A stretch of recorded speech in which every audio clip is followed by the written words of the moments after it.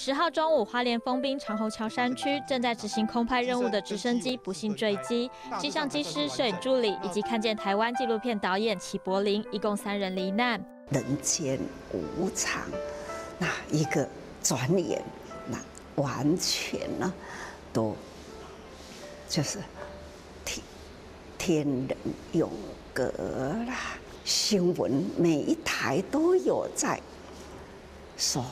很不舍，人人所表达的总是呢，对他都有敬仰的，因为他有付出，热爱台湾。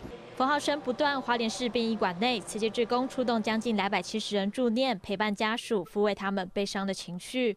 慈济人也陪伴着，要亡者临安呐，生者。心安，就是为他念佛等等啦，一直到了把他的遗体呢运回台北去。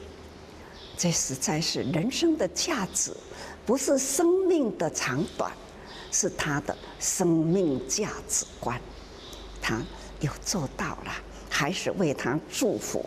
齐柏林热爱台湾，这次是为看见台湾续集看景，生命的最后也是为这块他所爱的土地付出，祝福他成愿再来。大爱新闻江嘉瑜、刘宏志华联报道。